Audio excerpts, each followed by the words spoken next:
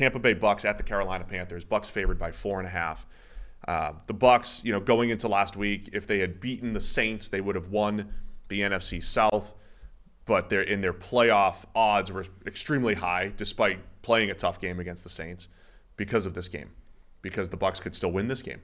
So win and they and they win the NFC South. If they lose though, and the Saints win, Saints get in as NFC South champions. Bucks favored by four and a half here at Carolina. Yeah, the Bucks essentially had two shots at a win in in, in game, and this is the second. Well of said. them. Well said. Yeah. and it's against Carolina. Pretty Um, concise. Now the only downside is Baker Mayfield is banged up. He's not practicing right now. I think the I think he'll play.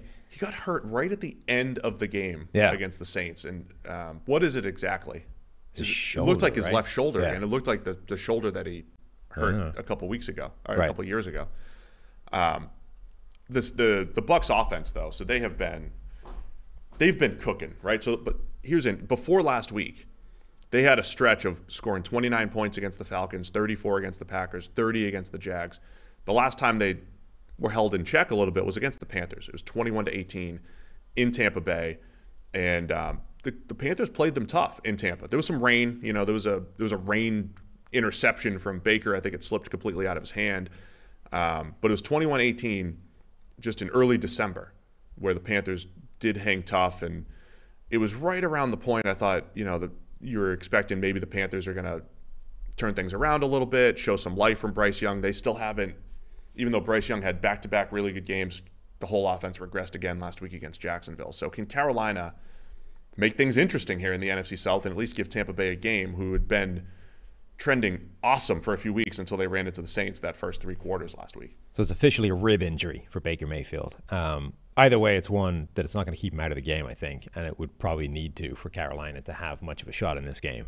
Um, I mean, look, Carolina showed like one or two times this season they've shown signs of life against anybody. Um, it, I don't see much of a reason why it would happen this week against Tampa Bay. The Bucks are a flawed team, but they've been pretty good on either side of the ball.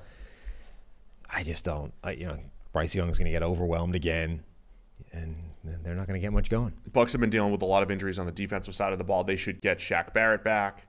Uh, looks like you know, they've been dealing with a revolving door cornerback. I think they should be healthy with Carlton Davis and Jamel Dean out there. Um, so, so Tampa may be getting healthy at the other spots besides Baker Mayfield. They do have a better overall team.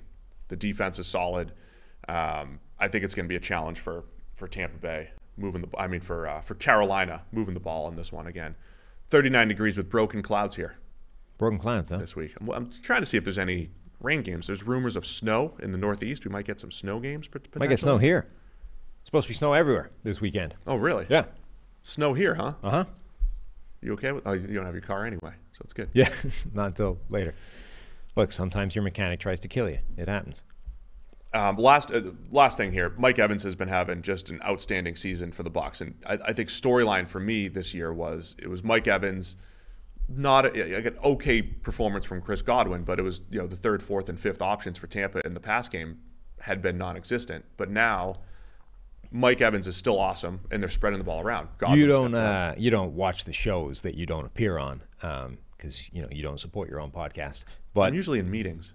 Whatever. Like yesterday, I had to miss the show because I was in a very intense meeting. Anyway, yesterday we had a conversation with Trev, a Tampa Bay Buccaneers fan.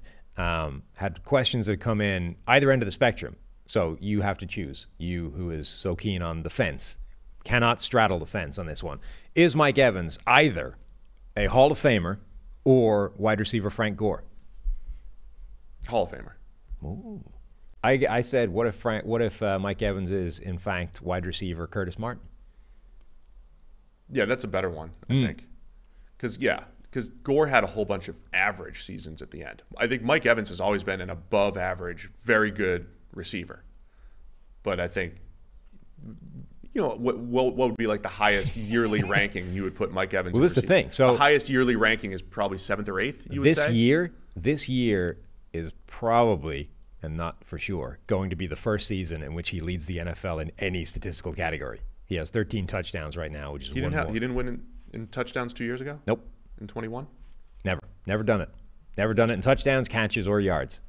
he's got thirteen touchdown catches, number one. Which ironically is less than he's had in previous years, but this year is leading the league. What did he have in 21 for passes? Oh, was it Cooper Kupp that year? 2021 touchdown passes. Yeah, Kupp had 16. Evans had 14. Yeah, never let never led the league. Yeah, Anyway, Evans so is there you go. Hall of Famer. Yeah, Hall of Fame. Two people. good answer. He's been very, very good. Very good. Very consistent. That's been his thing. Over 15 yards per catch in his career too. Yeah. It's impressive. Anyway, let's make some picks. Tampa Bay.